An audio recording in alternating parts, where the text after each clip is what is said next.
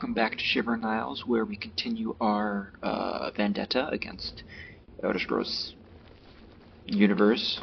Todd Howard hasn't given us Elder Scrolls 6, so more NPCs are going to die today. Okay, so today's agenda is killing the Gatekeeper. He seems to like to resist my magic.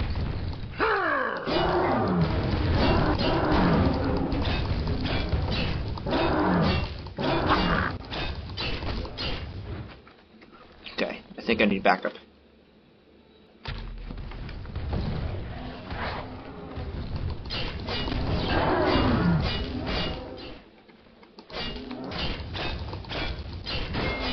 I don't think I'm doing any damage whatsoever. Wait, knocked him on the ground.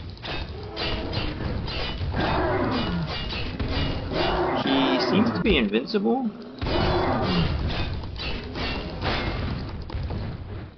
Like, am I hurting it?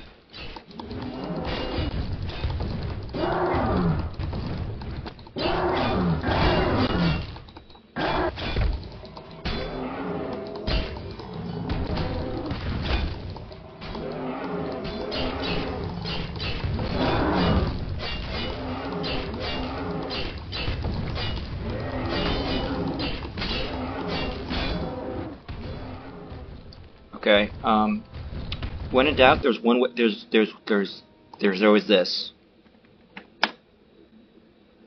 Unconscious. Um, okay, so console command was not enough to kill him. But maybe I can make him unessential. Okay. I feel pretty confident that I got rid of his essential status.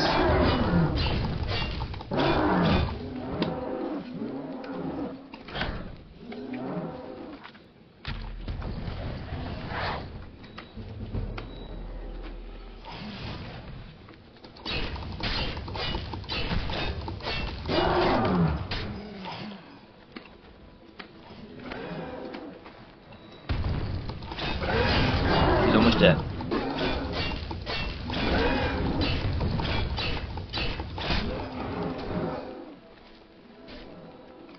Oh, that ain't good.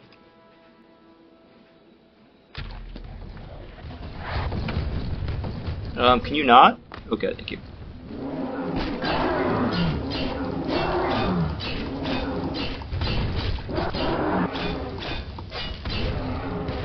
Cadaver hacks. Dang it, he's still unconscious. Okay, we're in trouble. Um. Hmm. One hour later. And just like that, we have managed to kill the gatekeeper. It was a little bit more difficult than I was expecting, but he dead dead. You also can't loot his body because I don't think they're. I mean, they were definitely not intending you um, to have a chance to kill him a second time.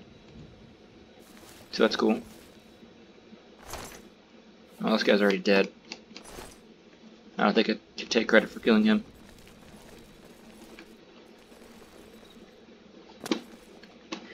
Anyways, it took me a full while to figure out how to actually kill him with console commands, so, um, tomorrow we'll head into the Shivering Isles. See you tomorrow for more murder.